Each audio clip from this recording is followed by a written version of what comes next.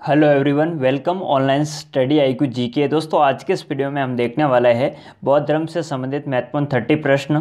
दोस्तों, जितने भी प्रश्न लिए हैं, सारे प्रश्न सेलेक्टेड और इम्पोर्टेंट लिए हैं। अगर आप किसी भी एग्ज़ाम की तैयारी कर रहे हैं तो ये वीडियो आपके लिए काफ़ी यूज़फुल होने वाला है। तो चलिए देखते हैं फ़र्स्ट क्वेश्चन फ़र्स्ट क्वेश्चन है, बौद्ध धर्म के संस्थापक कौन थे? तो इसका सही आंसर हो जाएगा option number C Gautam Buddha. दोस्तों, बौद्ध धर्म के संस्थापक थे गौतम बुद्ध। नेक्स्ट क्वेश्चन है किसे? एशिया की रोशनी, यानी द लाइट ऑफ़ एशिया कहा जाता है तो इसका सही आंसर हो जाएगा option number A, Gautam Buddha को। दोस्तों, गौतम बुद्ध को एशिया की रोशनी, यानी द लाइट ऑफ़ एशिया कहा जाता है। नेक्स्ट क्वेश्चन है, गौतम बुद्ध का जन्म कहाँ हुआ था? कई बार एग्ज़ाम में ये प्रश्न पूछा गया है तो इम्पोर्टेंट है आपके एग्ज़ाम के लिए। तो दोस्तों, गौतम बुद्ध का जो जन्म है, ये हुआ था लुम्बनी में। दोस्तों, गौतम बुद्ध का जन्म पाँच सौ तिरसठ ईसा पूर्व में कपिल वस्तु के लुम्बनी नामक स्थान पर हुआ था। ये आपको याद रखना है, काफ़ी ज़्यादा इंपॉर्टेंट क्वेश्चन है आपके एग्ज़ाम के लिए। नेक्स्ट क्वेश्चन है, बुद्ध का जन्म किस सत्रीय कुल में हुआ था? तो इसका सही आंसर हो जाएगा ऑप्शन नंबर बी साक्य सत्रीय कुल में हुआ था बुद्ध का जन्म। नेक्स्ट क्वेश्चन है बुद्ध शब्द का क्या अर्थ है? तो इसका सही आंसर हो जाएगा ऑप्शन नंबर बी, एक ज्ञान संपन्न व्यक्ति। दोस्तों, बुद्ध शब्द का क्या अर्थ है? एक ज्ञान संपन्न व्यक्ति। नेक्स्ट क्वेश्चन है, गौतम बुद्ध की माता कौन थी? तो इसका सही आंसर हो जाएगा ऑप्शन नंबर ए, माया देवी। दोस्तों, गौतम बुद्ध की माता कौन थी? माया देवी थी।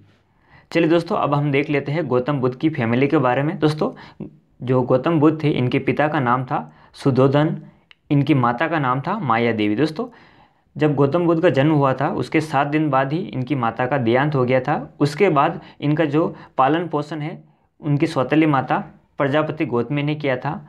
इनकी पत्नी का नाम क्या था? गौतम बुद्ध की यशोधरा और इनके बेटा हुआ था, उनका नाम था राहुल। ये भी आपको याद रखना है। ये फैक्ट आपके एग्ज़ाम के लिए काफ़ी इंपॉर्टेंट है। नेक्स्ट क्वेश्चन है गौतम बुद्ध का बचपन का नाम क्या था? दोस्तों, ये भी प्रश्न कई बार एग्ज़ाम में रिपीट हुआ है। तो दोस्तों, गौतम बुद्ध का बचपन का नाम था सिद्धार्थ। बिना अन्न जल ग्रहण किए छः वर्ष की कठिन तपस्या के बाद पैंतीस वर्ष की आयु में वैसाखी पूर्णिमा की रात निरंजना, जिसे वर्तमान में फल्गु नदी के किनारे पीपल वृक्ष के नीचे सिद्धार्थ को जो ज्ञान है, वो प्राप्त हुआ था। ज्ञान प्राप्ति के बाद सिद्धार्थ है, वो क्या है? बुद्ध के नाम से जाने गए। दोस्तों, गौतम बुद्ध का जो बचपन का नाम था, वो था सिद्धार्थ। सिद्धार्थ को ज्ञान प्राप्त हुआ, उसके बाद है, वो क्या कहलाई बुद्ध कहलाए, और जहाँ उन्हें ज्ञान प्राप्त हुआ वह स्थान क्या कहलाया? बुद्ध गया। नेक्स्ट क्वेश्चन है, गौतम बुद्ध ने प्रथम जो उपदेश है, वो कहा दिया? तो इसका सही आंसर हो जाएगा ऑप्शन नंबर बी सारनाथ में। ये भी प्रश्न कई बार एग्ज़ाम में पूछा गया है। तो दोस्तों, गौतम बुद्ध ने जो प्रथम उपदेश है, वो दिया था सारनाथ में। बुद्ध ने अपना जो पहला उपदेश है, वो दिया था सारनाथ में, जिसे बौद्ध ग्रंथों में धर्म चक्र प्रवर्तन है, वो कहा गया। ये आपको याद रखना है। नेक्स्ट क्वेश्चन है, सारनाथ में बुद्ध का प्रथम उपदेश क्या कहलाता है? तो इसका सही आंसर हो जाएगा ऑप्शन नंबर सी धर्म चक्र प्रवर्तन ये कहलाता है, सारनाथ में बुद्ध का प्रथम उपदेश, सिद्धार्थ ने उनतीस वर्ष की अवस्था में ग्रह त्याग किया, जिसे बौद्ध धर्म में क्या कहा जाता है? माँ विनिष्क्रमण। इन्होंने जब घर त्यागा था तो उसे क्या कहा जाता है? उस घटना को तो उस घटना को कहा जाता है माँ विनस्कर्मण अस्सी वर्ष की आयु में गोरखपुर के समीप कुशीनगर नामक स्थान पर गौतम बुद्ध ने अपना जो शरीर है, वो त्याग दिया और इस घटना को बौद्ध धर्म में महापरिनिर्वाण है, कहते हैं। ये भी आपको याद रखना है। नेक्स्ट क्वेश्चन है गौतम बुद्ध का प्रथम गुरु कौन था? तो इसका सही आंसर हो जाएगा ऑप्शन नंबर सी आलार कलाम। दोस्तों, आलार कलाम ये गौतम बुद्ध के प्रथम गुरु थे। ग्रह त्यागने के बाद सिद्धार्थ यानी बुद्ध ने वैशाली के आलार कलाम से साख्य दर्शन की जो शिक्षा है, वो ग्रहण की। आलार कलाम सिद्धार्थ के प्रथम गुरु थे, ये आपको याद रखना है। नेक्स्ट क्वेश्चन है गौतम बुद्ध की जो मृत्यु है, ये कहाँ हुई थी? दोस्तों, ये काफ़ी ज़्यादा इंपॉर्टेंट क्वेश्चन है आपके एग्ज़ाम के लिए। कई बार एग्ज़ाम में रिपीट हुआ है। तो दोस्तों, गौतम बुद्ध की जो मृत्यु है, ये हुई थी कुशीनगर में। तो इसका सही आंसर हो जाएगा ऑप्शन नंबर डी बुद्ध की मृत्यु 80 वर्ष की अवस्था में चार सौ तिरासी ईसा पूर्व में कुशीनगर में हुई थी और इस घटना को बौद्ध धर्म में महापरिनिर्वाण है, वो कहा गया है। तो ये काफ़ी ज़्यादा इंपॉर्टेंट है आपके एग्ज़ाम के लिए। नेक्स्ट क्वेश्चन है, बुद्ध को ज्ञान की प्राप्ति किस वृक्ष के नीचे हुई? तो इसका सही आंसर हो जाएगा ऑप्शन नंबर ए, पीपल के वृक्ष के नीचे बुद्ध को ज्ञान की, यानी सिद्धार्थ को ज्ञान की प्राप्ति हुई और सिद्धार्थ को ज्ञान की प्राप्ति के बाद क्या कहलाए? बुद्ध कहलाए। तो दोस्तों, इन्हें जो ज्ञान की प्राप्ति है, वो कहाँ पर हुई थी बोध गया नामक स्थान पर। ये भी आपको याद रखना है, पीपल के वृक्ष के नीचे इन्हें ज्ञान की प्राप्ति हुई थी और जो स्थान है, वो है बोध गया।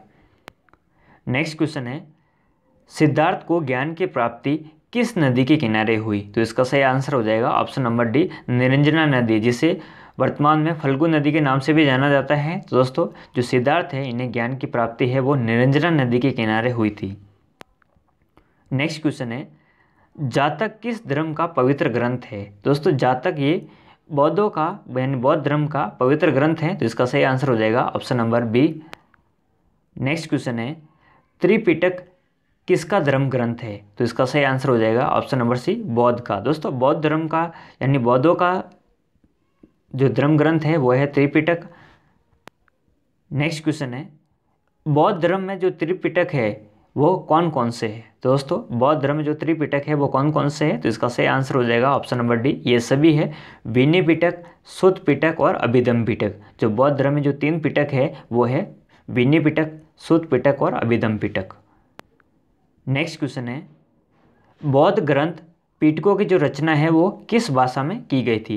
जो पीटक है, उनकी जो रचना है वो किस भाषा में की गई थी? तो पाली भाषा में की गई थी तो इसका सही आंसर हो जाएगा option number B next question है, बौद्ध धर्म और जैन धर्म दोनों के जो उपदेश है वो किसके शासन काल में दिए गए थे? तो इसका सही आंसर हो जाएगा ऑप्शन नंबर ए बिम्बिसार के शासन काल में बौद्ध धर्म और जैन धर्म के जो उपदेश है वो दिए गए थे।